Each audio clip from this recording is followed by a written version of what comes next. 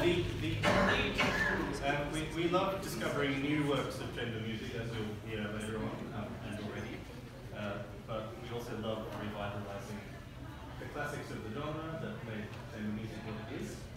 And uh, there's not much to say about this piece, except um, we put everything there is to say into a song, which we'd like to sing for you.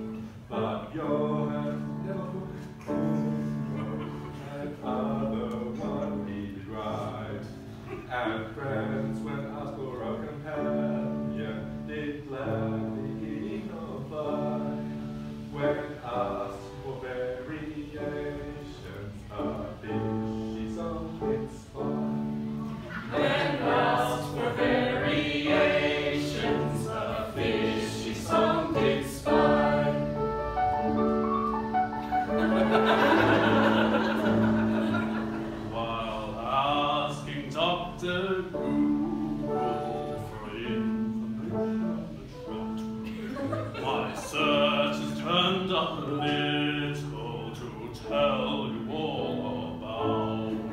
But with this time including, it's all.